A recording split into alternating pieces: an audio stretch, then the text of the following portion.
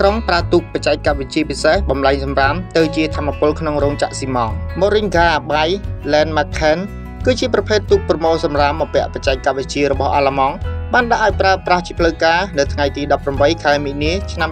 2022នៅលើផ្ទៃទន្លេមេគង្គកម្ពុជាចំពោះដំណើរការបច្ចេកវិទ្យានេះនឹងស្វែងរកទីតាំងសម្រាមបានឆាប់រហ័សតាមរយៈកាមេរ៉ាដ្រូនក្រោយរកឃើញទីតាំងនោះ ក្រុមការងារនឹងបញ្ជូនទូកទៅប្រមូលសម្រាមដែលវាមានសមត្ថភាពអាចប្រមូលសម្រាមបានប្រមាណជាង20តោនក្នុងមួយថ្ងៃសម្រាមដែលប្រមូលបាននឹងត្រូវយកទៅបែងចែកនៅទីតាំងបែងចែកសម្រាមនៅក្នុងរាជធានីភ្នំពេញដែលរៀបចំឡើងដោយក្រុមហ៊ុន Everwell និងអង្គការ River Ocean Clean Up ចំណែកសម្រាមដែលពុំអាចកែច្នៃបាននឹងត្រូវបញ្ជូនទៅក្រុមហ៊ុន Chipmunk Eco Cycle យកទៅបំលែងទៅជាធម្មពលក្នុងរោងចក្រស៊ីម៉ងត៍យុទ្ធនាការប្រមូលសម្រាមនេះនឹងចាប់ផ្ដើមនៅខែមីនាដល់ខែមិថុនាតាមដងទន្លេមេគង្គទន្លេសាបនិងទន្លេបន្សាក់ក្នុងភូមិសាស្ត្ររាជធានីភ្នំពេញអាយដាមថងខុនធ្លាប់មានប្រសាសន៍ថាយុទ្ធនាការនេះគឺជាបេសកកម្មប្រវត្តិសាស្ត្រដំបូងដ៏សំខាន់សម្រាប់កម្ពុជាក្នុងការរួមចំណែកក្នុងការធ្វើទន្លេនិងទីក្រុងស្អាត